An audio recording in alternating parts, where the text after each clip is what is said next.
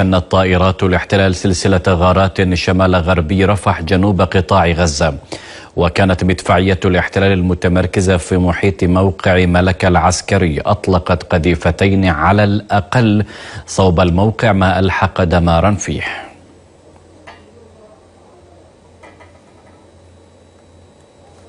للوقوف على تطورات الوضع في المحافظات الجنوبية تنضم إلينا عبر الهاتف مراسلتنا هناك إسلام الزعنون. أهلا بك إسلام.